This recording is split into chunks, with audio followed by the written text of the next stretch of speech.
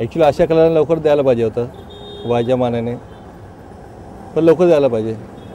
पण लवकर नॉमिनेशन केलं पाहिजे त्यांचं. जल्दी दे सकते थे. उनकी इतनी ज़्यादा एज और इसमें कोई दोहरा ही नहीं है कि वो बहुत अच्छे कलाकार हैं. उन्होंने अपने आप को पहले ही बहुत बार प्रूव किया है. उनकी अच्छी अच्छी फ़िल्में हैं और हमारे कई सारे कलाकारों ने उनसे सीखा है. अमिताभ बच्चन पर उनकी छाप दिखती है. उनके चलने के स्टाइल में, बात करने के स्टाइल में, हर तरीके से. तो मुझे लगता है कि सरकार थोड़ा जल्दी कर सकते थे. लेकिन लेट भी क्या तो कोई दुख की बात नहीं है. दिया है एट लास्ट मतलब. नहीं, इसी गवर्नमेंट में, ये भी गवर्नमेंट अच्छा ही है।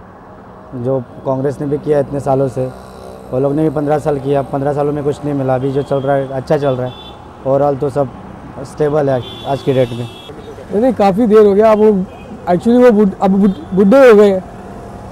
उनको यंगिस्ट में देना चाहिए था सब अवार्ड वगैरह। अभी तो बहुत लेट कर दिया एक्चुअली उनको देने में। तो क्या गवर्नमेंट का तो हर एक काम लेट ही रहता है एक्चुअली लेकिन दे दिया वही अच्छी बात है।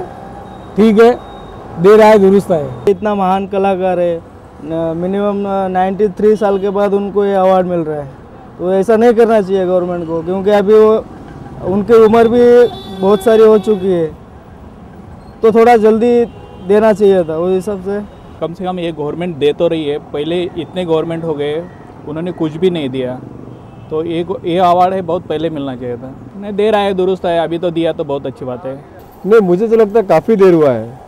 क्योंकि जिस तरह के वो दिग्गज कलाकार है, जिस तरह की उन्हें आज तक भूमिका निभाई है, वो एक सदी के महानायक कहा जाता है उनको। और उनको ये जो, मैं तो कहूँगा ये अपमान ये बहुत देर बाद उनको दिया गया है अवार्ड काश ये दस बीस साल पहले दिया होता तो मुझे बहुत अच्छा लगता।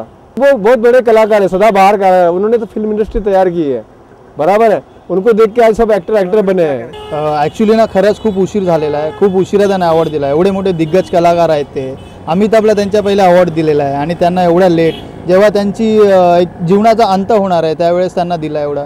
खूप उशीर केलेला गव्हर्नमेंट पण माझी एक गव्हर्नमेंटला दरखास्त असेल एक मी त्यांना एक अपील करतो की असं नका करत जाऊ मोठमोठ्या कलाकारांशी असं नका करत जाऊ. जे आहे दिग्गज कलाकार ॲटलिस्ट त्यांना त्यांची रेस्पेक्ट त्यांना त्यांची रेस्पॉन्सिबिलिटी द्या. समजू द्या त्यांना पण त्यांनी त्यांची इज्जत मिळवू द्या. त्यांना त्यांना त्यांना एवढं पद्म पद्मभूषण मोठं दिलेलं आहे. खूप लेट दिलं पण थोडं लवकर दिलं तर बरं झालं असतं.